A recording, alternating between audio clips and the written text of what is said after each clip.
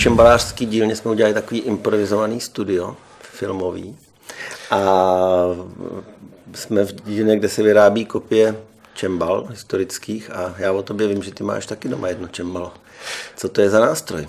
Vlastně to není úplně, čembalo je to spinet, renesanční spinet a e, zápletka je v tom, že není ani úplně tak můj, že je půjčený od kolegyně, která má doma mnoho čembal, takže jedno e, mohla ráda postrádat.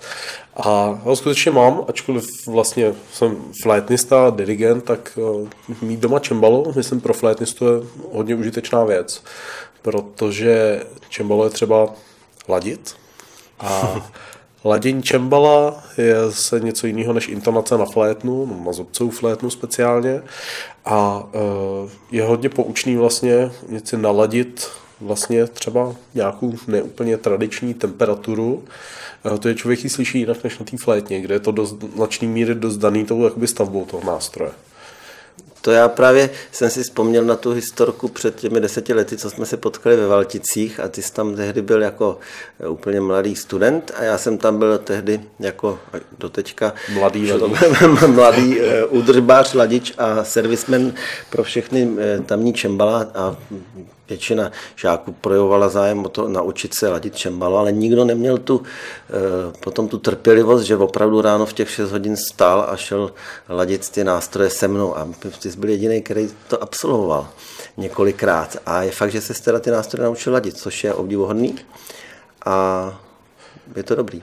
No, uh mě to vždycky jako hrozně zajímalo, čembalo. Já jsem teda samozřejmě veli, veli, velice, velice levej, a, eh, ale ty jsi jako v tomhle profesionál, protože v té dílně, kde te, teď jsme vlastně, eh, ty pracuješ, protože většina těch eh, čembal z této dílny vlastně projde tvýma rukama, než dojdou ke koncovému uživateli, jak dneska Jasně. říkám hodně.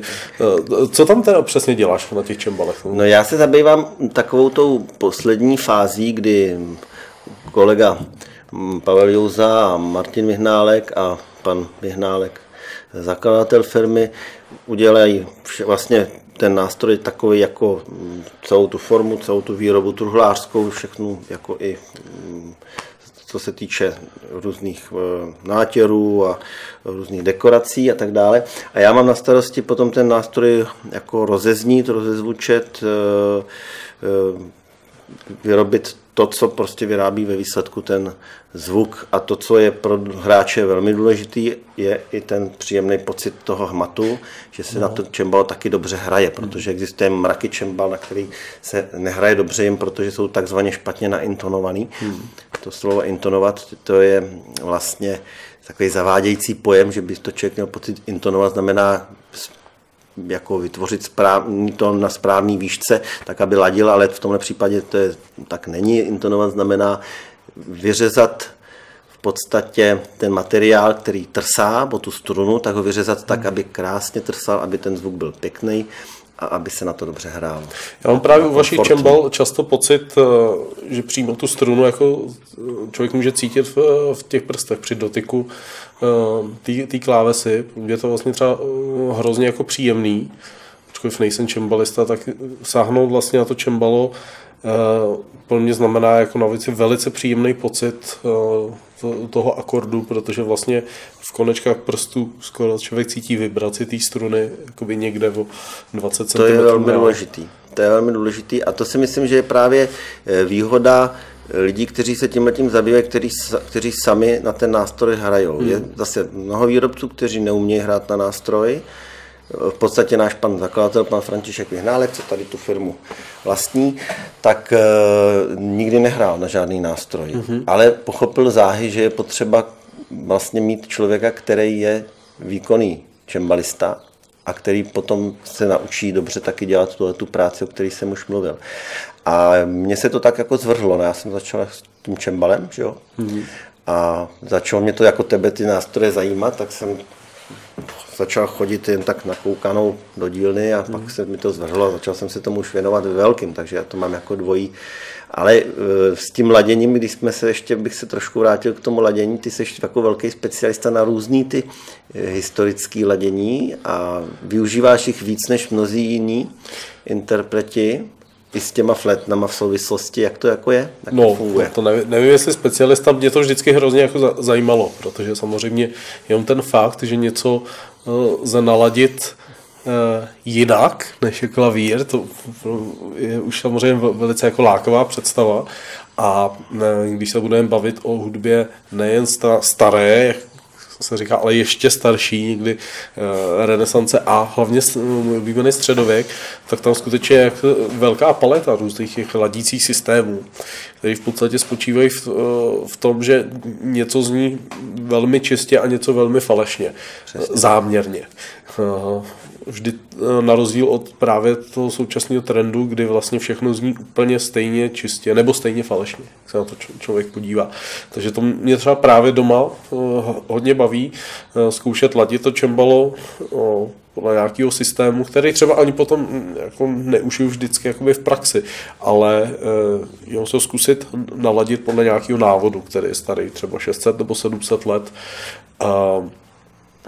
A to je myslím, velká výhoda, velká inspirace pro právě e, flétnistu a e, i pro ensemble, jako, protože myslím si, že ta hudba, když hrajem, my spolu hrajeme, že 18. století nejčastěji, Jasně. tak tam to ladění celkem jaksi daný, jak, jak to může fungovat a funguje s tou hudbou velice dobře, ale samozřejmě, kdyby jsme stejný ladící systém použili na pozdní středověk, tak vlastně to hrajeme jinou hudbu. Je to úplně, úplně to nuda. něco jiného. Jednak je to nuda, jednak ten, myslím, že i ten výsledek prostě bude jako jiná skladba. Proto jako když eh, zabrusíme trošku do toho, co je vlastně třeba právě ta středověká hudba, kterou dneska že vidíme na těch hradech, jakoby ty chlapce v těch jakoby kostýmech, který samozřejmě eh, logicky je to jakoby populární žánr, oni samozřejmě neaspirují na to používat nějakou adekvátní jakoby temperaturu nebo uh, ladění z té doby, ale vlastně je to úplně jiná hudba. Je, je, to, je to něco jiného. Jo, vůbec to jako ne, neodsuzuju nebo takhle, ale je třeba vidět, že to vlastně je jo, středověkem inspirovaný uh, folk třeba. No, no, asi, asi jo.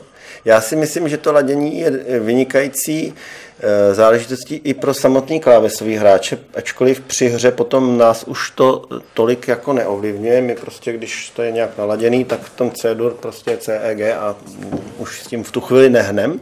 Nicméně hnem s tím taky v souvislosti, že když víme, že nějaká ta tónina je eh, rozladěná, tak tam zbytečně ty nejrozladěnější tóny necpeme.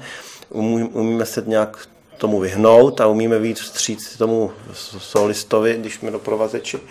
Ale zajímavý je, jsem si uvědomil, že to naučit se ladit je pro čembalistu vlastně taková vyhýbka od toho světa těch klavíristů, že vlastně většina z nás nejdříve byli klavíristy, pak jsme začali vyučovat na čembalisty.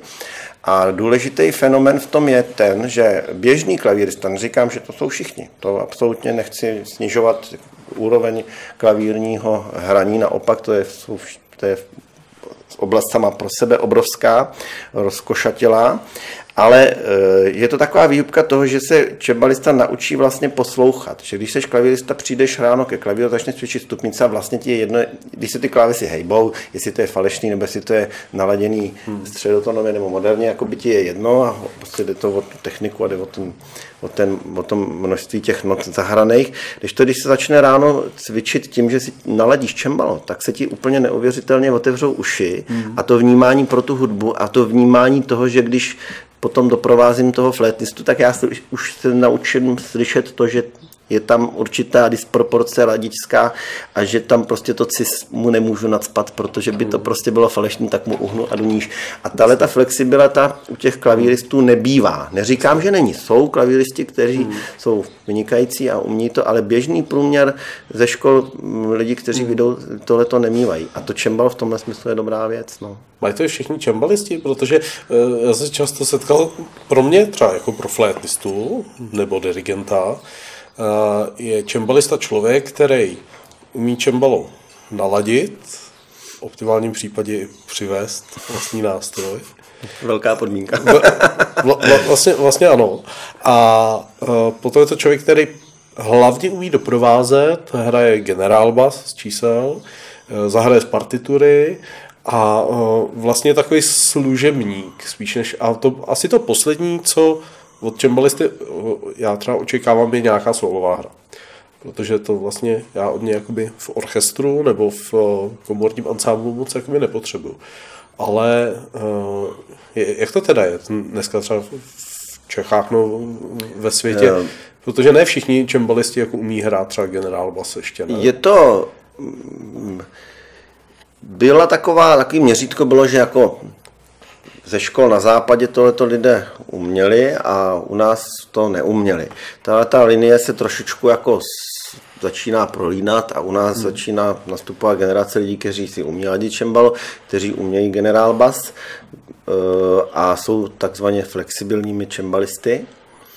Nicméně zdaleka ne všichni čembalisti tohle, tohle ten, tu, tu, tu celou sumu, to, co tady vyčet eh, těch dovedností, tak to neovládají všichni. Někteří hmm. nemají ten řidičák a, a někteří neumějí ladit, nebo ladí neradí, nebo jim to jde strašně dlouho, pomalu, takže vlastně hmm. ten výsledek je potom taky v praxi hůř použitelný. Ale samozřejmě už, už to lidi umí taky. No, je to, a je to důležitý, bez toho by se člověk opravdu jako čembalista těžko obešel. Ale určitě existují nějaké podobné e, souvislosti zase s flétnama. Taky tu, ten, ten život nemáte úplně jednoduchý. Se zubcovou flétnou je ta základní potíž, on se řekne jako zubcová flétna, všichni si představí jako zubcovou flétnu, kterou znají jako ze škol, nicméně to je asi tak jakoby jedno procento flétnového světa vůbec, protože u nás je největší problém počet nástrojů, vlastně my potřebujeme pro eh, denní, denní provoz nebo pro běžnou jaksi koncertní a vyučovací praxi. Samozřejmě uh, zobcová flétna doména repertoárová je baroko, renesance, středověk a soudobá hudba, takže člověk najednou potřebuje spektrum nástrojů vlastně pro 18. století pro nějakou renesanci, eventuálně pro středověk, pak se liší nástroje, jestli jsou vhodnější k tomu, aby hráli spolu v souboru, v koncertu, jako čtyři a třeba více fléten, nebo jestli je to nástroj solovější. No a navíc s tím laděním uh, my nemůžeme přeladit flétnu o půl ton výš nebo níž, takže rozdíl 440 a 415 pro nás znamená vlastně jiný nástroj. Jasně co, což je to zásadní problém. Takže pakliže chce být člověk hráčem na zubcovou flétnu, tak je to vlastně, že neustále schání nebo kupuje nějaký nástroj nebo vylepšuje ten vozový park, což myslím je na jednu stranu velice příjemná věc, člověk neustále hledá jaksi, no, nové nástroje a na druhou stranu je to samozřejmě takový pocit jako neustálý nespokojenosti. že člověk pořád nemá dost, chci hrát tenhle repertoár, na to vlastně potřebuji jako tady tu nebo jinou flétnu, tak zase musím, musím jakoby pátrat. Já koukám, že právě tam máš, jako jsi říkal, že máš flétny jenom na to vrcholný baroko tady, tak eh, a je jich tam docela dost. To je, Já bych už tady... samo o sobě tohle to je dost reprezentativní to je jenom ta, ta, pohled. Takový výběr, protože uh, my spolu hrajeme převážně jako vrcholný baroko, eh, hlavně italský, italský sonáty, no, tenhle repertoár, takže spíš tady mám jakoby jenom nástroje, které jsou pro, tohle, pro tuhle hudbu jaksi vhodný. Nicméně i mezi nimi je velký rozdíl, všechny jsou vlastně ladím na 415, což se mm, i pozná podle toho, že jsou proti ty 440 trošku jakoby, delší. trošku jakoby delší. Jo. Ale Jinak každý z těch nástrojů je úplně jiný, protože uh, jsou to všechno víceméně kopie, víceméně kopie uh, těch dobových předloh, nicméně uh, Jedna je vhodnější spíš na takový drobnější ozdoby, další tenhle nástroj je spíš vhodný na hraní třeba s orchestrem, protože má silný průzračný zvuk. Tahle zní jako hrozně lehce ve vejškách, tahle naopak má spodní registr velice, velice sonorní, takže když si člověk vezme tu sonátu, tak se vlastně může rozhodnout, co ta hudba potřebuje, který nástroj vlastně je pro to jakoby nejvhodnější. V tomhle smyslu to máme podobné, protože hmm. čembalo je taky široké, široké spektrum Eh, nástrojů. Ono v podstatě eh, to, co mají jednotlivé čembala mezi sebou společného, je pouze ten princip tvorby zvuku a v určitý míře ten tvar, ale to taky zavádějící třeba ten nástroj, který máš doma právě pentagonální takzvaně, teda že nemá tvar toho klasického čembala nebo klasického spinetu, ale je pětiúhelníkový a má diametrálně odlišný zvuk od toho, co třeba máme tady nebo kdybychom hráli nějakou francouzskou hudbu, byl by vhodný francouzský nástroj, který bývá většinou velký. A ty rozdíly jsou taky pro nás, zvlášť pro ty interprety, to je tak, že, že vnímáme tu velkou rozdílnost. To je pravda, že často se setkám s, i s, e, s, názorem, že to běžný posluchač nevnímá ten rozdíl tak, jako je to asi, možná, že to i bude i u těch fléten tak, že si toho detailu běžně člověk nevšimne, ale kdo se tím zabývá trošku víc, tak ty rozdíly jsou opravdu veliký.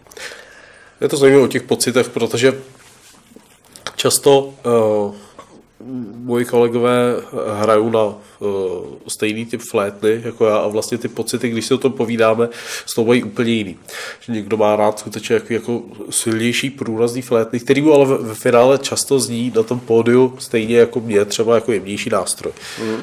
No. A uh, zajímavá věc je taky, že uh, často my si třeba flétny půjčujeme, protože jak jsem mluvil o tom, že je jich potřeba hodně, tak, tak ne každý má vždycky všechno, tak tu a tam si, pro, si prostě vyhovíme a ty nástroje si uh, takhle recipročně zapůjčíme. Taky tak a, máme. Tak, tak máme. A kdy, často, když se mi ta fléta vrátí zpátky, tak vlastně se ní zahraju a ten první pocit je, jako by to byl jiný nástroj. Každý přece to je ten, ten dech je tak jako niterná záležitost, že když se mi vrátí flétna jednou kolegovi, tak říká, oh, to je úplně rozehrál. Úplně tak. rozehrál, jako sil, silný nástroj najednou. Jako úplně, uh, ale několik dní, dní hraju zase já, pak se vrátí do vlastně mýho nějakého osobitého a jak je to se Zobcov? To mě teď napadá vlastně, že jsme se bavili o tom širokém uh, uh, rozpětí časovým a v závislosti na těch fletách v té době rezonanční, ještě starší rezonanční barokní. A jak je to teda s moderním repertoárem? Jestli jako existuje jako takzvaně moderní zobcovka, plastová, Taky. jo, samozřejmě, ale, ale jestli jako, jako, jaký v tom je třeba rozdíl, to mě tak... Uh, jestli to existuje. V podstatě existuje. V podstatě existuje, je to docela nedávný vynález. Jednak co je vlastně soudobá hudba pro zobcovou flétnu.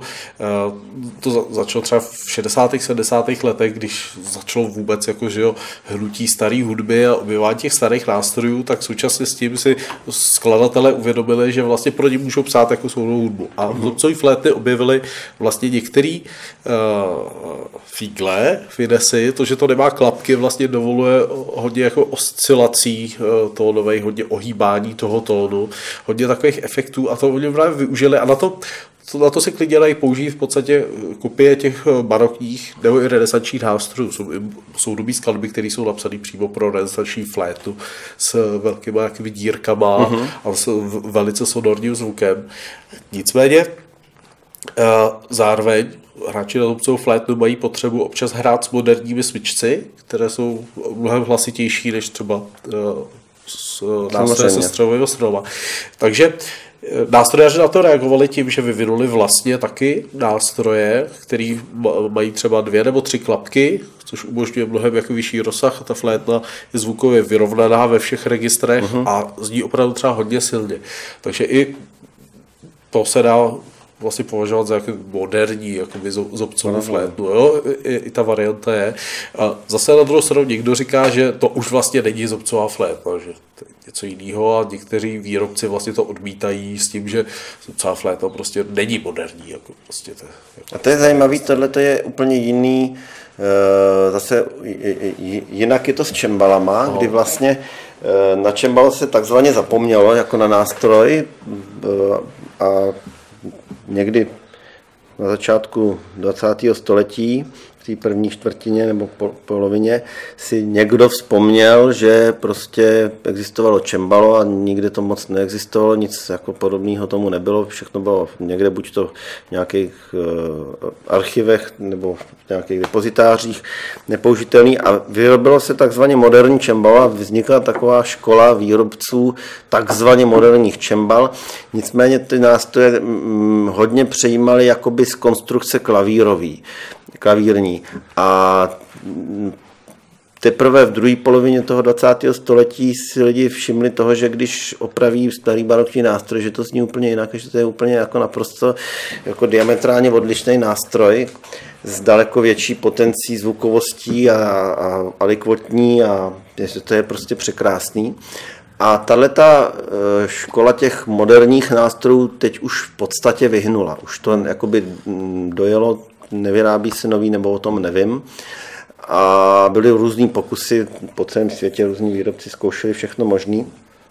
Ale Prostě byla to slepá ulička. Nicméně vznikala literatura, která jakoby teda byla tvořena pro moderní čembalo a jsou interpreti, kteří to jako respektují, že když hrajou moderní hudbu, tak chtějí hrát na to moderní čembalo. A dochází k určitým třenicím, že někteří interpreti zase chtějí tu uh, moderní hudbu hrát na ty kopie. Já jsem teda zastánce těch kopií i v té moderní hudbě, protože jo. prostě ten nástroj je víceméně dokonalej a do, došel k určitý fázi své dokonalosti a v té, když ho tak konzervujeme, ale budeme rozvíjet jenom určitý e, niance, které jsou dílnu od dílny eh, rozdílný, hmm. tak, tak to bude dostačující, si myslím, pro ten nástroj, nic jiného. To, to, to je zajímavý, no. To je u těch zubcových fléten třeba mm, mě jako v podstatě fascinují některý moderní, takzvaný moderní nástroje, ale některý třeba jsou pokusy eh, s amplifikací, se zesilováním a e, taky s tím, že zobcová flétna nemá jako velký dynamický rozpětí. Co tě jeden slavný dirigent si z nás dělal neustále legraci, že hrajeme buď piano nebo pianissimo. Hmm. A což je svým způsobem pravda, protože jako zubcová flétna byl, byla třeba ve vrcholném baroku braná jako jeden afekt, jedna nálada, prostě teď máme zubcovou flétnu, tak to vyjadřuje to a to. A na nic jiného se to nedá to, Na nic jiného si to jako nemělo ani hrát vlastně. Jo? Bylo to jako jasně určený. A potom některý experimentují vlastně s tím, že to musí hrát jakoby silnější, že se dá dělat piano, forte, dynamika. A to už jsou třeba takový pokusy, kde jako já si říkám, jako jestli je to eh, zrovna jako nutný, jestli ten nástroj jako opravdu potřebuje. Protože když prostě chci hrát na hlas, tak buď uh, se naučím na jiný nástroj, nebo prostě mám jako x jiných uh, prostředků, jak tu sílu vyjádřit, jo, artikulace nebo je, afekt, ale to taková síla, jako taková to volume no, strání, no, to, to, to, je jako něco jiného. jsme se v podstatě sešli jako dva na stejné lodi, protože podobný problém mají čembala. Čembala taky vlastně nemají v takovou tu, tu dynamiku v tom klavírním slova no. smyslu e, velikou, respektive řekl bych téměř žádnou, i když to bych nerád, jako co se týče třeba síly úhozu a síly toho zvuku, rozdíl je, ale je úplně minimalizovaný a opravdu to víme pouze my, kdo na to hrajeme a když ještě to chcem vědět, jako kdo na to hraje a nesnaží se odkryt ten taj toho čembala. Nicméně zajímavé je, když teda ty nástroje mají takovéhle zvláštní omezení a jsou víceméně dost jednoúčelový, proč to lidi tak strašně baví, co na tom je tak jako eh, svádivýho a že, to, že prostě jsou lidi, kteří mnou propadnou a celý život jim to změní, což se mně třeba stalo zrovna. Jo. Mě vlastně taky, že jo? Zubcová flétna, no. Eh, nevím, jako mě jako samozřejmě, když jsem začínal nějak učit hrát na otcou flétnu, ještě jsem vůbec neuvažoval o tom, že třeba se tím budu zabývat profesionálně. Tak mi spousta... ještě arabista v té době. no, tak mi spousta lidí říkalo, že jako přeci to, to jako není ten opravdový jako nástroj. No. Jako, že, nebo že, že no já to, to, to, to samý s čembalem, jako, když hrál na no. piano, to bylo fajn, a teď to, to čembal, to je, to je hrozný. Na druhou stranu prostě... toho už nechat. Je to přece fascinující jeho repertoár. Eh, mě hrozně baví zvuk té zubcové flétny. Neustále jí možnosti vlastně eh, vyjadřovací mi přijdou jako nesmírně bohatý, protože to, že to není jako slyšet přes celý sál až do poslední řady, mě vlastně je úplně jedno. Eh, Přesně, to je to vlastně... hodně je to strašně jakoby subjektivní a vlastně to, mm, ten prožitek člověk de facto si hraje pro sebe a pro ten svůj krásný pocit a když se to daří, tak pak je to Myslím, že s tím souvisí ale i, i ten, ten druhý aspekt, že eh, když my provozujeme jako starou hudbu, že jo, tak i proto, aby jsme se vyhnuli těm argumentům jako typu, prosím tě, to je takový jako podivný, jednoduchý nástroj, jo, nemá to ani pedály, nebo nemá to klapky, no, není to slyšet, tak uh, mě to třeba hrozně nutilo vlastně zabývat se otázkama, jak to bylo v, té době, proč to teda uh, není nástroj, který je slyšet uh, v Rudolfínu až do poslední řady? Uh, a člověka to navede na ty otázky, jako vlastně, kde se na ten nástroj původně hrálo, v jakém repertoáru, v jakém uskupení, pro jaký publikum? A tím myslím, že se člověk snadno dostane právě do osidel toho starohudebního hnutí nebo takový té interpretace, která se snaží jít hodně po původu té hudby a vlastně snažit se jí pochopit v tom původním jakoby kontextu. Já se neustále snažím najít jakoby e, vysvětlení toho. Já jsem se teď nedávno, a po dlouhé době jsem se nedávno setkal opět jako s e, moderní flétnou, s celokovovou a hráli jsme na čem, čembalo, ta zobcová ta, ta uh, příčná flétna moderní. A tím, jak jsem delší dobu se s tím nesetkala, pohybuju se víceméně v vodách těch barokních nástrojů, tak jsem si uvědomil, jak, jak hluboce se vlastně ty dva nástroje spolu nepojí. Aha. Jak je to najednou takový úplně jakoby zvláštní uh, nesoulad zvukový, že když my zahrajeme, můžeme potom předvíst kousek muziky, Eh, tak v určitých momentech najednou člověk má pocit takového naprosto dokonalého hudebního štěstí, jak prostě ta zobcovka tam hraje a to čembal se do toho plyne a je to prostě takový jako nádherný eh, souzvuk. A tady u toho těžko jsem nacházel to, to, to splynutí. A nevím, prostě nedokážu to vysvětlit ničím zatím. Určitě. Na druhou stranu třeba já znám hráče na moderní příčnou flétnu, jako špičkový, který eh, vlastně hrajou takovým způsobem, že když člověk slyší, tak vlastně říká, ach, to nádherný a navíc to ladí. A často používají dřevěný flétny moderní. Taky, no. To si myslím, že by asi možná... Takový krok zpátky, že jo? My se vlastně bavíme o tom, že používáme jako nedokonalý nástroje eh, oproti těm jakože dokonalým orchestrálním, který jsou vybavený klapkama z mnoha důvodů, mimochodem proto, aby vlastně u těch dechových nástrojů vlastně všechno znělo stejně vyrovnaně. A, což na jednu stranu může být jako velká výhoda, na druhou stranu ty, ty hráči spoustu ztrácí, protože vlastně ve starší hudbě, nebo ještě v hudbě klasicismu nebo romantismu, všichni skladatelé věděli, kde, jak, jaký nástroj zní a uměli toho využít. A samozřejmě nikdo neočekával, že když má hrát flétna ve spodní poloze, že má být jakoby slyšet, no. což jako ty klapky právě a tyhle technické inovace se dost jako relativizují, že to prostě zní všude stejně. Takže potom ten výsledek eh, je na jednu stranu třeba technicky jakoby dokonalý, ale je tam jiná rovina, která se z toho samozřejmě rychle ztrácí, ztratila. Tak nezahrajeme si kousek? Můžeme si zahrát kousek, jenom uh, spolu vlastně Corelliho sonátu. No. Není to koncert, takže si to udělám nějakou zkoušku. Udělám zkoušku. Uh, Corelliho sonáta, která vlastně původně není vůbec flétnová, to by se no. měli říct. Arcangelo Corelli samozřejmě jako houslista a Čembalo tady sedět mohlo. Čembalo tady sedět mohlo. Otázka. Ale co je na té sonátě zajímavý teda? Uh, ty máš uh, ty, ty faksimile vlastně, uh, celkem jakoby jednoduchou nezdobenou melodii. Nicméně už z 18. století známe několik příkladů právě téhle sonáty, kde je ozdobená že, že vlastně to znovu vydávali vlastně s tím zdobením. Tak už možná to, to jsou ozdoby přímo Koreliho. Tohle jsou přímo Koreliho ozdoby a jsou pak i jiný no. jakoby vydání. Certifikoval. Od, eh, tak, autorizoval. No, ale, ale i od hráčů, kteří s Corellem už neměli nic společného a psal na ozdoby vydávali. Možná bude zajímavý, když zahraje třeba první frázi bez ozdob hmm? a pak s ozdobama.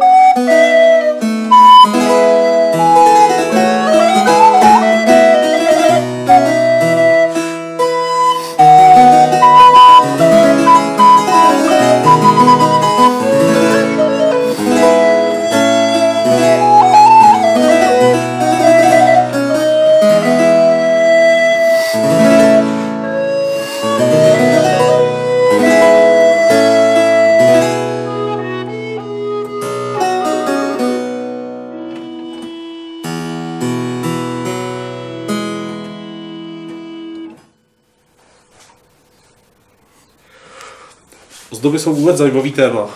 Vlastně. Přesně tak. Uh, ty vlastně většinu času trávíš jako uh, ty většinu času hra, trávíš jako hráč kontinua. A jak je to? Kontinua a ozdoby, improvizace, to je přeci je to eh, vlastně to, proč já asi zůstal nakonec u muziky, je to, že jsem potkal takzvaný continuo general bass Aha. a cembalo. Já kdybych asi zůstal jako klavírista, tak už jsem dneska v lepším případě skutečně učil na, na hudebce a asi by mě to nakonec tak nebavilo, nevím, možná prostě to byla schoda okolností, že jsem potkal to čembalo a že jsem se do toho takzvaně zamiloval. A e, jsou tam samozřejmě dva rozdílné světy, je to solový hraní a to doprovázení. Já jsem jako principiálně poměrně nesolistický typ. Už od začátku své jakýkoliv hudební kariéry jsem nerad vystupoval sám za sebe úplně a tohle to mě šlo jako v ústrety, že to hraní, doprovázení je vynikající věc, je to největší zábava, jsou tam lidi, je největší legrace a člověk si vlastně zahraje spoustu muziky, daleko víc než v tom solovém repertoáru, taky komorní hudba se trošku lépe prodává než jenom solové čembalo, to si budeme povídat. Ale eh, to continuo general bass, to je takový, takový termín, který někdy hm, se na to lidi i ptají, co to teda jakoby znamená to continuo. No. Prostě to umění doprovázet uh, solové nástroje nebo ansámbly a ta škola toho generálbasu takzvaného, což je vlastně umění realizovat ten doprovod na základě basové linky, která je opatřena nějakým takzvaně číslováním, což jsou v podstatě kytarové značky, eh, když to přenesu do moderní terminologie. A má to určitý zákonitosti, určitý jako pravidla a určitý eh, souvislosti zase s dobou vzniku té muziky. Ale víceméně, kdybych to měl zjednodušit, tak je to v podstatě harmonie v praxi. Jakoby. Umění jako vyčíst z toho materiálu, jaká je tam harmonie a nějakým způsobem zrealizovat tu její eh, to, to, to vedení těch hlasů a tak dále. Samozřejmě může člověk skončit tím, že si vezme učebnici generálbasu a naučí se dobře číst ty čísla a bude prostě realizovat, takže když tady máme F-dur, F-dur, C-dur. Ale těch možností samozřejmě je více, já ten spoj nemůžu A furt je to jako vlastně to samý. A teď jde o to jenom, najít tu míru, což právě proto já jsem hodně rád, že my třeba dva jsme se potkali, mm. nebo že jsem se potkal s Jurou Sichou, Houflistou, kdy v této e, oblasti máme obrovskou svobodu mm. a čím jsem starší, tak se cítím víc, svobod, víc svobodný a dělá mi to dobře jde o to umět jako v rámci toho generálbosu i muzicírovat a překračovat ty hranice těch naučených hmm. pravidel a vycházet vstříc nějaký zvukovosti, nějakýmu, když forte, tak tam samozřejmě těch not musí být víc, ale těch not víc neznamená, že a že opravdu prostě bohatý akord, obohacený o sousední tóny a tak dále. A to si myslím, že ty děláš ty ty flétně taky velmi. Co, co třeba, když jako jsou taky nepředvídatelní dirigenti, kteří právě najednou ukážou třeba subito piano a ty na to vlastně musí hned zareagovat tím, že úplně změní sazbu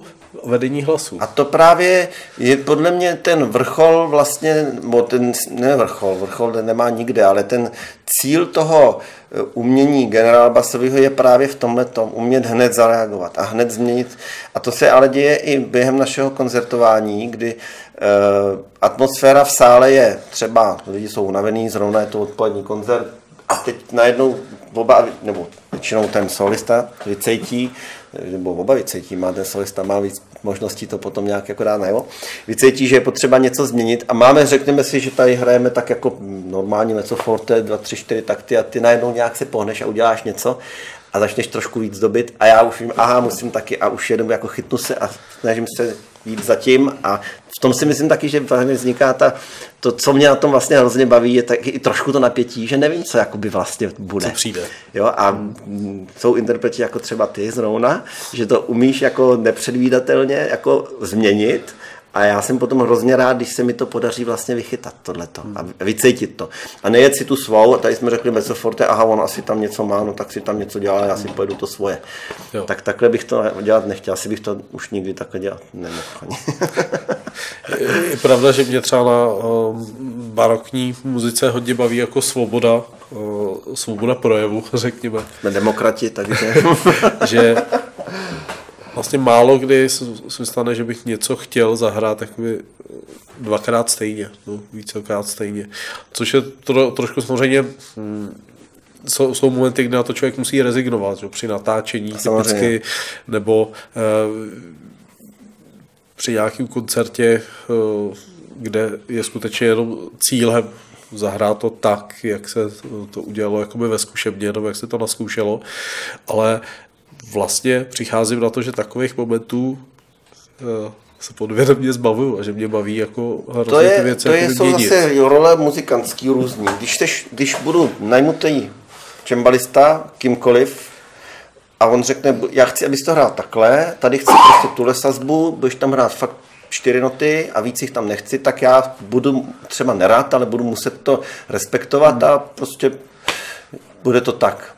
Ale v případě třeba, jak, tak jak to děláme my, tak je to, je to jak říkáš, si to zbavuješ. Já se to taky snažím zbavovat.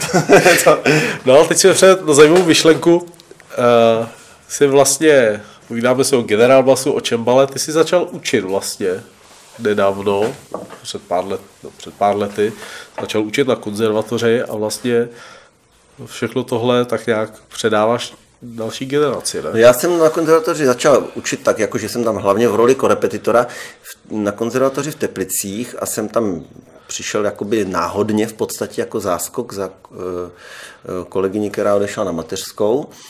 Ale musím říct, že vlastně to, to, to pedagogické činění mě hrozným způsobem začalo bavit, protože jsme se tam potkali v sympatická parta, že nejsem tam pouze v roli toho, že přijdu a tak nám to zahraje a ještě jednou a, a začne se stavit příští týden, ještě si to jednou zahrát a pak je koncert, ale že tam vlastně vytváříme dohromady s těma profesorkama eh, tamníma eh, jakoby, jako i tým pedagogický, vlastně tam tmelíme muziku a děláme a já je v tomhle tom právě se snažím hrozně vyučit, že e, můžou, aby se naučili, že můžou očekávat při koncertním provedení vlastně cokoliv. Čili my to nějak zahrajeme a pak je to odpoledne znova si to jdeme zahrát a já na schvál doprovázím, ale úplně jinak. Hmm. A teď jako ze začátku, aha, to je, tam to bylo jinak, tam jsme to, asi, ne, to prostě tak teď mám jinou náladu, teď jsme si, teď prostě to hrajeme taky trošku rychleji a budu tam hrát prostě těch, no více já ti to neřeknu, ty musíš jako na to zareagovat, jo.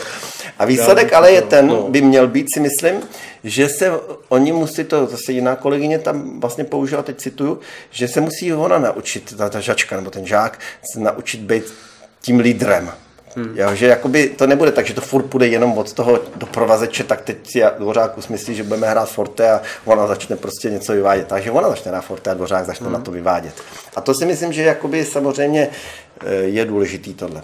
A musí tam být i míra oboustranného hmm. jako ovlivňování se. Tak při tom učení je to samozřejmě hodně o psychologii, o vedení jakoby těch žáků nebo studentů tak, aby věděli, kdy mohou být lídři, kdy ne. A uh, samozřejmě to, to je dlouhodobý proces, protože to není nic, co by se dalo změnit tak by za, za půl roku. I proto si myslím uh, osobně, že když už se bavíme o učení, tak systém eh, šestiletý konzervatoří, který máme v Čechách, je pořád jakoby v tomhle ohledu velmi smysluplný a že ten argument, že někdo říká, že je to příliš jako dlouho a příliš jakoby hustá hodinová dotace, jako to s tím vlastně nemůžu vůbec souhlasit, protože Určitě. je, je, to skutečně jakoby velmi niterný proces eh, dlouhodobého ovlivňování. Já myslím, že bolesti konzervatoře jsou jinde, než v tom, že by měla trvat 6 let. No, ro, rozhodně. Že jakoby eh, to se dostáváme se za hranice takového toho, co jsme si řekli, že si asi budeme povídat, jakoby školství, ale mm, souvisí to s tím, že na konzervatoři asi pravděpodobně, a to bylo vždycky, chybí trošku bohatší všeobecné vzdělání a trošku hlubší všeobecné vzdělání, který mnoho lidí by nakonec rádo použilo, protože ne všichni konzervatořisti nakonec budou dělat muziku. Že? Ale to je jiná kapitola úplně. Hmm. Jinak ta dílka toho studia, já jsem sám absolvoval konzervatoř pouze čtyři roky, protože jsem byl starší a šel jsem takzvaně přeskok do třetíáku, takže jsem vlastně třetíák, čtvrták, páták, šesták a bylo to málo. Vlastně. Jo. Jakoby, ehm, kdybych mohl život vrátit, tak bych šel normálně od těch 15 na konzervatoř a byl bych tam opravdu těch 6 let. Ale tak to už je. Tak zase šel jakoby jinou cestou, že jo? Tak, Samozřejmě. eh, Já jsem měl tu eh, výhodu nebo to štěstí, že vlastně když se bavíme o zobcové flétě, Já si zapám cigaretku, nebo to baví. Ne, ne, nebude, tady stejně v dílně máte tolik prachu, že nikotin a prach se budou Prach báječně, Prach báječně, báječně doplňovat. Eh, No, chtěl jsem říct, že jsem měl to štěstí, že vlastně obcá fléta v Čechách dlouho na konzervatoři nebyla. A já jsem byl vlastně první student, který ji tady vlastně studoval. No, to Takže to bylo úplně uh, takový objevitelský Průkopník. svět. Průko- Průkopník. Nebo Vzpomínal si na několik jako vtipných momentů, vlastně, které tam nastaly, když třeba poprvé jsem hrál na uh, přehrávce dechového oddělení a poprvé tam byla zobcová flétna teď tam seděli všichni ti trombonisti a hornisti, že jo, teď tam jako části vyděšeně, části jako s opovržením hleděli na zobcovou flétnu a spinet, jak tam předvádí nějakou jako barokní sonátu. A vlastně ty dneska na to vzpomínám jako na velice jakoby vtipný No, moment, samozřejmě. nebo vtipný momenty. Jako, jo, to, Ne, to bylo... Tak ten vývoj té interpretace barokní v Čechách, že jo, dneska už je, dneska je to všechno tady opravdu na světový úrovni. Ansámbly jsou špičkoví, muzikanti jsou špičkoví, jezdí sem špičkoví umělci z celého světa, naši muzikanti jezdí do celého světa, takže ten, to porevoluční propojení se těch dvou e, znepřátelených světů se i v tom barokním, v té barokní interpretaci se to jako spojilo, že jo? takže to je, to je už dobrý. No. to je velká výhoda. Měli jsme, u nás byla nevýhoda toho, že vlastně eh, to by o tom mohl hodně hovořit pan František Vyhnálek, to je zakladatel této firmy a eh, že nebyly žádné informace o tom. Že v určitý době jako postavit čembal bylo něco, jako kdyby dneska člověk sám doma chtěl dělat malý jaderný reaktor. Možná, že by bylo víc informací o jaderném reaktoru, než tehdy bylo o čembalech. Jako jo. To, hmm. Prostě přišel Pavel Klikar, že chce čembala a oni, že mi ho postaví a vlastně nevěděli, co mají stavět. Aha.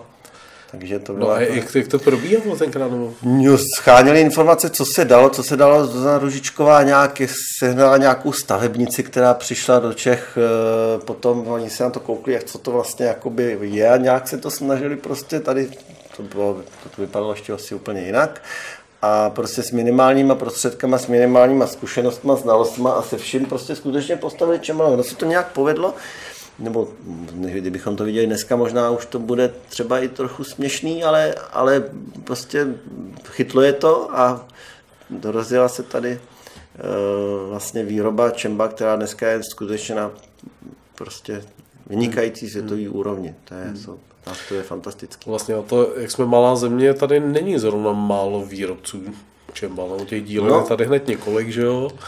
Je to tak čtyři subjekty tady jsou. Čtyři subjekty, což je vlastně docela dost na to, že Česká republika je velká asi jako jedna spolková země. No. kde obvykle tak jako jeden nebo žádný eh, výrobce čembal nebo těch díl tam. On se trh nasytí samozřejmě časem trošku, nicméně hmm. je to trošku, já nevím, jestli se nemýlím, ale nějak můj kamarád kytarista vždycky vykládá, že kytara má svou životnost, že to není jako nástroj na doživotí, koupit si kytaru, hmm. že jako když jsi vrcholový kytarista, tak musíš velmi brzo, nevím po kolika letech prostě vlastně začít přemýšlet o nákupu nové kytary. Což je trošku asi problém i těch čembals. Po té vlastně už dneska čtvrtstoletí historie té výroby tady, tak vlastně když se zjišťuje, že některé ty staré nástroje po těch 20 letech začnou být už starcema. Hmm. Jako, je to postupný, pomalý proces, ale prostě nový nástroj v plný výbavě, udělaný prostě zní a ladí líp a je to prostě, samozřejmě jsou výjimky určitě, samozřejmě jsou rozdíly nástrojů, který stojí doma v obyváku a nikdy nikam nevyjedou a mají stálou kontrolovanou teplotu a vlhkost, tak budou asi se chovat jinak než takovýhle koncertní nástroje, který hmm. ovšem my máme rádi a nejradši. A bude to asi s těma zobcovkama stejný, že jo? Že zobcovka nevydrží na doživotí. Ne, ne. Bohužel to není tak jako u těch houslí, který vlastně stárnou a získávají na ceně. Uh, zobcový flétny, uh, ta, ta se ničí poměrně rychle, protože tím, jak eh, člověk neustále do ní vlastně fouká a, tak, a to dřevo vlastně vibruje, tak tím dochází k určitému opotřebení, zároveň ty ten vzduch, no ty páry, samozřejmě taky působí ta vlhkost, střídání vlhka a sucha. Takže Může prasknout, jo? Jednak může prasknout třeba ve studeném kostele, ale to není ani tak nejčastější problém. Nejčastější problém je, že prostě to dřevo se unaví po několika letech. rezonanci, jakoby. Ztratí rezonanci, už se ani špatně hraje, špatně se ozývá, ten zvuk je takový uší, tím pádem mnohem hůř ladí, člověk se to začíná být utrávený navíc.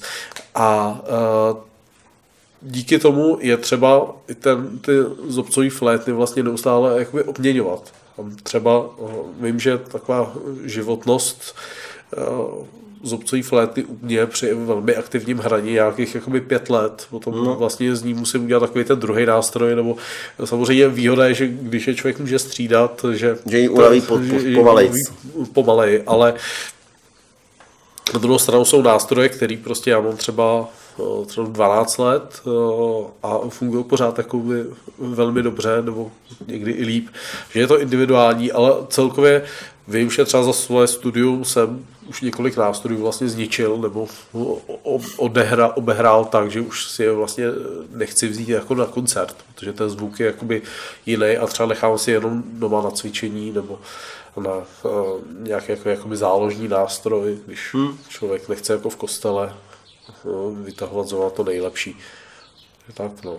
To je taky s těma čembalama je to zase tak, že vlastně minimum nástrojů z minula těch originálních skutečně jakoby vlastně bylo hratelných v té současnosti, že, že se museli rekonstruovat a repasovat celý to znova v podstatě dá dohromady, znova natáhnout struny teprve a znova zjistit, jestli to hraje nebo ne. Prostě ta deformace toho materiálu je to dřevo hold tím časem nějakým způsobem trpí, že čembala kopie nemají žádný eh, rám eh, jako u klavíru ocelový nebo jaký, takže to napětí těch strun je obrovský a vlastně to dřevo vlivem toho střídání vlhkostí a teplot prostě pomalu pořád prostě jakoby vnitřně deformuje. Hmm. Eh, jednou jsem byl překvapený, jsme rozdělali asi tak 20 letý nástroj na provočení tele víceméně, jsme dělali jako rekonstrukci tak eh, jsem byl překvapený, jak dalece třeba jenom ten količník, který je masivní, obrovský prostě flák dřeva, který by traktorem nezlomil, hmm. jak je vohnutý, jak je to až hodně, jako vlastně o nepředstavit, tak ty si představím, že by to leto se mělo dál ohýbat dalších 200 let, tak je to vlastně nepoužitelný už hmm. pro, tu, pro ten účel. Takže je i, taky... i u čembal musíme hmm. přemýšlet na na nákup nových čembal po určitě, ale máme to trošku delší. Jenom. Eh, je taky pravda, že eh, muzikanti v dnešní době hodně cestují. Vlastně, no, výrazně víc.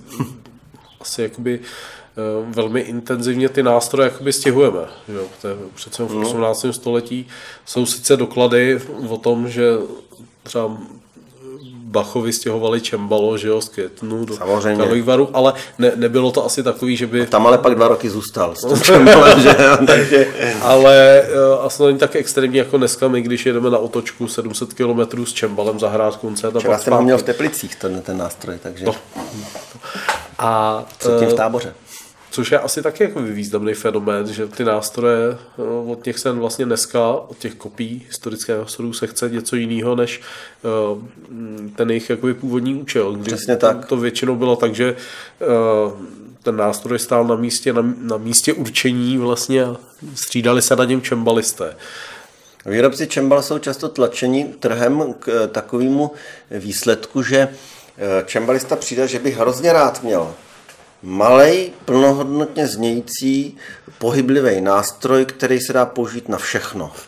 A to je taky zavádějící termín. Vlastně neexistuje čembal, který jako je použitelný na všechno. Kdybychom třeba do orchestru eh, dali eh, velkýho francouze, takzvaně dvoumanuálovýho, který má krásný zvuk, je to prostě fantastický nástroj, tak jako v tom orchestru tu funkci doprovodného nástroje bude plnit jako těžce, protože ten zvuk a celkově to je vlastně, já teď to teď použiju jako přirovnání, je vlastně jako pomalej. Je to vlastně něco, co jakoby má obrovský kouzlo, že se to jako posadit se v salonu a poslouchat nějaký barokní svity, tak je úplně fenomenální, ale v tom orchestru prostě se přeci jenom víc hodí takzvané italský nástroje, které jsou zvukově takový syrovější, jadrnější, ale jsou hrozně pohyblivý a, a u mě ten, ten zvuk prostě vystřelí, ale to je právě potřeba v tom orchestru, aby jsme melili harmonicko-rytmicky ten celek, že jo. To je, to je to zajímavé, no. Takže ty nástroje, my chceme nástroj, který v historické době měl 4,5 oktáv, my ho chceme rozšířit na 5 oktáv a chceme tam přidat ještě jeden manuál pro jistotu nebo ještě jeden registr a, a zároveň, aby tam to vešlo do auta, máme jenom Felicii, tak eh, je eh, vlastně požadavek nesplnitelný. A je fakt, že se dělali takový pokusy vytvořit takový jakoby univerzální nástroje a jako už pan vedoucí eh, Jinálek už to potom nerad dělal a jako opustil tohleto. Je to, je to špatně. Ehm, Asi dobrá rada pro budoucí třeba čembalisty by byla, že by si měli spíš auto vybrat podle čembala, a A byt. čembalo podle A byt. A byt. A partnera. tak to, je, je to, ale je pravda, že většina, většinou my mluvíme o čembalistech, ale skutečně by jsou to spíše čembalistky, jo? Přesně tak, je nás minimum čembalistů. Čembalistů. No. Vlastně v, v, co v je flétnovém světě je to ještě extrémnější. To je převaha žen. Sám vím z Teplic. A víš, skutzátoře, že eh, většinou je to takový femininní nástroj, řekněme, což uh, má své výhody i, ne, i nevýhody.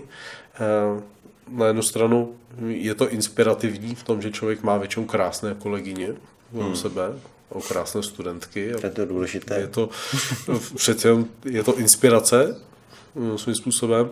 Na druhou stranu přece si myslím, že ty genderové aspekty hudby, že ty eh, dámy si často vybírají třeba trošku jakoby jiný repertoár, nebo stud- žákům a studentům dávají vlastně jiný repertoár, který uh, by jako muž učitel jim často jakoby nedal, nebo nenapadlo by ho zvolat některé jakoby skladby hrát. A vzhledem k tomu, že ta převaha je takhle masivní, tak je vlastně otázka, nakolik se celkový repertoár toho nástroje mění a kam to směřuje jenom díky tomu, že většinou na to hrajou ženy. No, to je velká otázka toho, těch genderových eh, vyrovnaností ve společnosti. Aby jsme takhle od genderové vyrovnanosti K koukám. trošku vážnější věcem. Mančíny. Uh, já to zkusím zahrát na trochu jinou flétnu, obvykle. To, to je to, mančíny je sice italská hudba, ale zkusíme použít fran, uh, francouzský nástroj, uh, zubcová fléta, která je obvykle laděná altová fléta in F a tohle je altová fléta in G. Čili uh, hráč musí transponovat o jeden jí a ze sonáty A-moll se stane pro mě vlastně sonáta G-moll. Tak dvě věty. Spirituosa a Largo. Ano. Tak jo.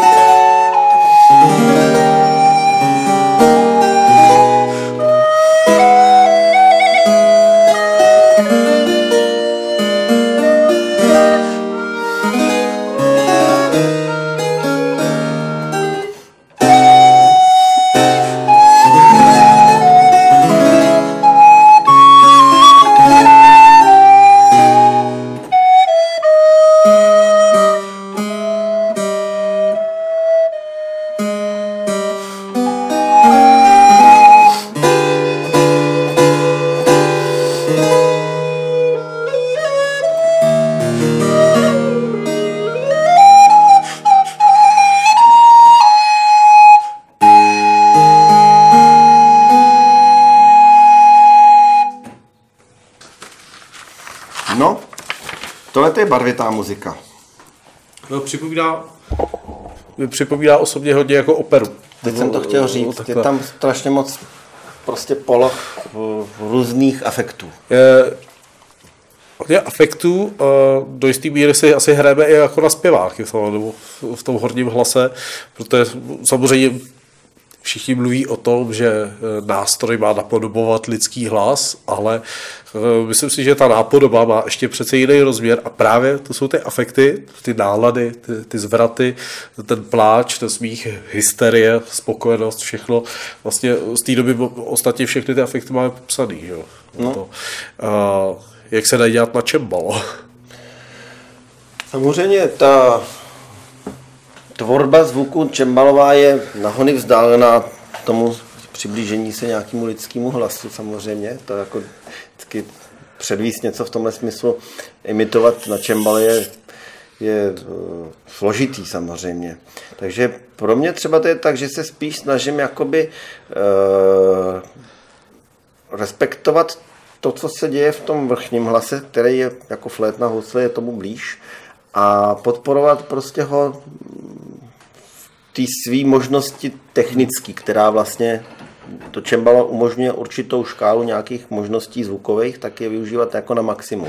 To znamená od úplného subita piana, kdy se hraje skutečně jenom jedna nota, base, hmm. až po široký akordy, různý meziběhy, různý pasáže a, hmm. a široký arpeggia propojovaný, kdy prostě se ta, ta harmonie prostě pojí daleko širším způsobem, než kdybych to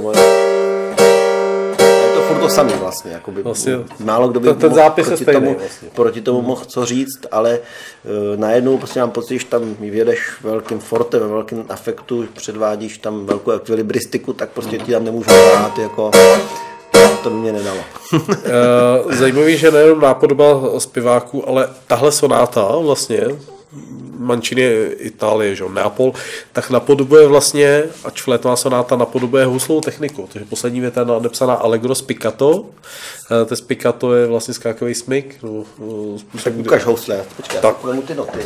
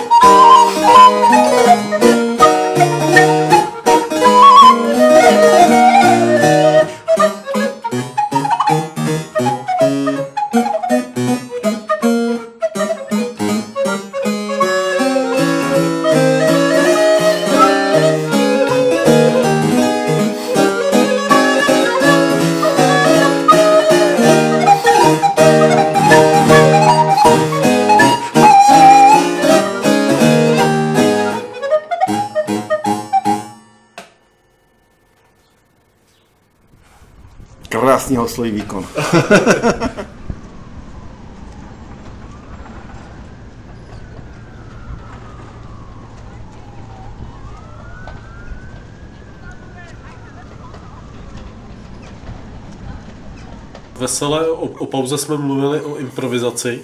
No. Vlastně. A už předtím jsme na to narazili.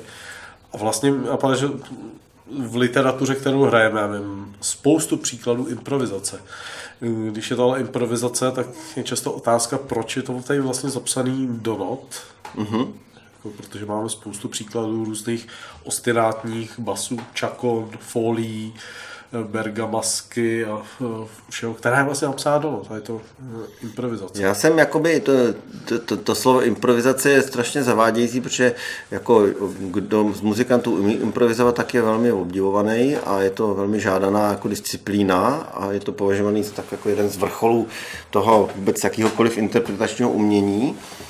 A mnoho lidí to neumí a nikdy nezačnou ani improvizovat. Já myslím, že to je taková jako svoboda umět si jako dovolit, že najednou začneš překračovat ten zapsaný eh, notový materiál. Má to svý úskalí a pochopil jsem teprve, co to je improvizace, až tím, když jsem jako študoval trošičku taky jako, hm, jsem se vrtal v jazzu a měl jsem, mám, no, mám doma takovou knížku jazzovou, kde vlastně ten autor nakonec píše, že improvizace je vlastně množina eh, předem nacvičených eh, různých jako grifů a škál a matů a a pak jde o to je jako nějak jako propojitá ty dohromady a vlastně ne, nebývá to úplně tak, že jako teď začneme hrát a teď tady přijde to, to políbení té muzy a my vlastně začneme najednou hrát trilek, jen protože prostě my máme předem v, v repertoáru trilek, víme, že umíme trilek, takže a teď tak zkusíme a teď se něco začne trilkovat.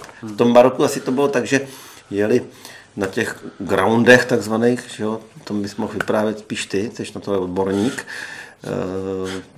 To ani ne, mě, mě spíš fascinuje, jak jsme mluvili o tom, že eh, spousta těchto groundů je zapsaný, tak eh, podle mě je to taková osobní exhibice často těch skladatelů, který byli většinou hráči. Jo. No, samozřejmě. A to, že psali hudbu, byla jenom prostě eh, ryze, všichni ryze, ryze prakti, praktická potřeba a proto, když podle mě zapisují vlastně ostinátní básnou skladby, psali na ostinátní bas, tak je to taková jejich osobní spověď, jakoby já improvizuju tímhle způsobem.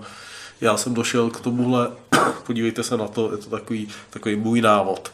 A zároveň si myslím, že to byla určitá jako edukativní záležitost pro pro hráče, že i v té době určitě byli hráči, kteří neuměli tolik improvizovat. Takže aby si tu hudbu mohli taky zahrát, tak hold jim dali eh, k dispozici již zapsanou nějakou improvizaci. Předpokládám, že pokud eh, zručný eh, hudební skátel, hráč improvizoval na ground v tehdejší době, tak sám improvizoval bez toho svého zápisu a svým žákům pak dal svůj zápis a ti se na základě těch zápisů učil se vytvářet si své improvizace. Benedetto Marcello byl jednoznačně jeden z těch, hm, podle mého názoru, pedagogických typů, co by skladatel, eh, aktivní hlavně v první třetině 18. století. Eh, zachoval nám jednu čakonu, vlastně, tak ji můžeme zkusit zahrát. Možná bude zajímavé, když nám předvedeš vlastně ty čtyři akordy, které mm-hmm. se tam neustále opakují. Takže ty akordy jsou v této čakoně jsou takto.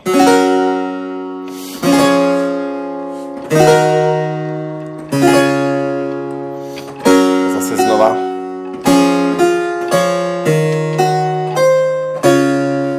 A teď pan Marcello.